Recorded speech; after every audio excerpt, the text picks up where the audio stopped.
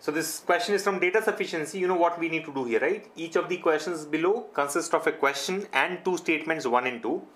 You have to decide whether the data provided in the statements are sufficient to answer the questions or not. Right? The only thing uh, that you guys must check uh, when you are, uh, you know, picking up data sufficiencies is he asking us to find out statements which are sufficient or statements which are not sufficient. Be be careful about that, right? Statements which are sufficient are to be found. Okay options have been given to you, right? Only one alone is sufficient, only two alone is sufficient, either one alone or two alone is sufficient, both are not sufficient, and both are necessary, right? So, based on that, you choose your answer. Now, here we go. First question How many children are there in the row of children facing north? How many children are there in the row of children facing north? So, we have to find out the count, the number of children in a particular row. Look at the statement one. Sangeeta is third from the left end of the row and is third to the left of Hasina. I can straight away say this statement will not be sufficient. See, understand, for us to be able to find out the total number of children, this, this again belongs to which topic? Ranking and ordering. Go back to the basics of ranking and ordering, right? We have discussed it there. In ranking and ordering, for you to find out the total number of children in a row, what you should know? You should know the position of one particular person from both ends, left end as well as right end. Whenever you want to find out the total number of persons in a row, total number of persons in a queue, total number of students in a class based on the ranks. You should know the data of one particular person from both the sides.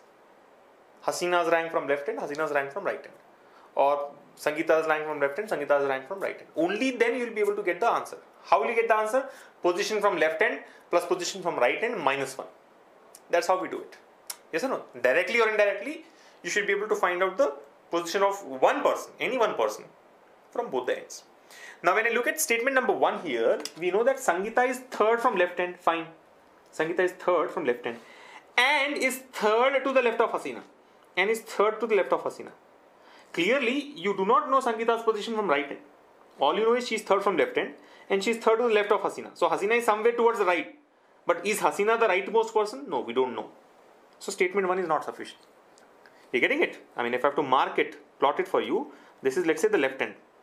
Sangeeta is third from the left hand. This is Sangeeta's position, let's say. She is third from the left hand. Third from the left hand. And so, so if I take left hand, first, second, third is Sangeeta. And she's third to the left of Hasina. First, second, third. This is Hasina. According to statement 1. According to statement 1, Sangeeta is third from the left hand, first, second, third. And she's third to the left of Hasina. First, second, third. Third to the left of Hasina. What is the total number of persons in the row? I cannot answer because there can be people after Hasina, right? We do not know how many people are there uh, on the right hand side of Hasina. You getting it? So statement one alone is not sufficient because this this is not known. Definitely this is the leftmost position, but this is the rightmost position? No, no idea. Statement two: Rakesh is fifth from the right end of the row and is third to the right of Hasina. Again the same problem. Rakesh, remember golden rule when you are answering questions from data sufficiency. When you look at statement number two, you should forget about everything that is given in statement number, one. Don't say, I know uh, data from statement one. No, we do not know anything. Erase your memory when you look at statement number two. Erase your memory is not the full memory. as there is whatever you have uh, checked in statement one when you're checking statement number two. Okay? So Rakesh is fifth from the right end of the row and is third to the right of Hasina. Same problem. This statement will not be sufficient.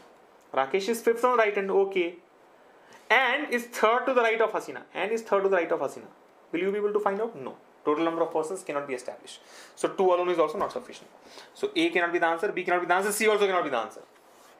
Data in 1 alone or 2 alone is not sufficient. Now there are two possible answers. Either the combination is enough or the combination is not enough. Remember, again another golden rule when you're solving questions from data sufficiency. You have to combine the data in the two statements. You have to go for the combination of the two statements if and only if the statements individually fail to give the answer.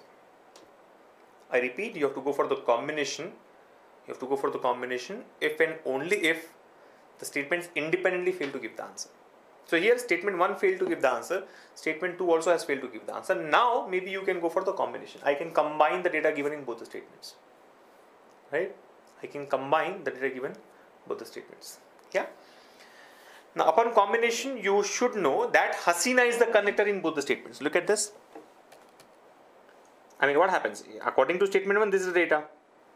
If I connect this with statement 2, Rakesh is third to the right of Hasina. Rakesh is third to the right of Hasina. So, first, second, third. Rakesh will come in this position.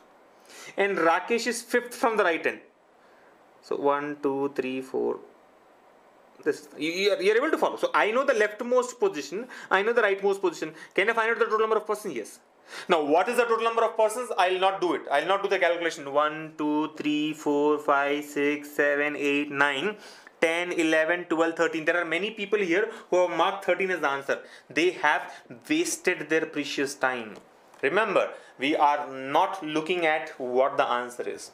All we are looking at is can we get the answer by using the given data? And the answer here is yes.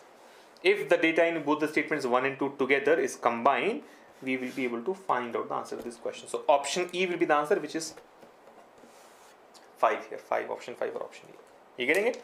Option 5, both 1 and 2 together are enough.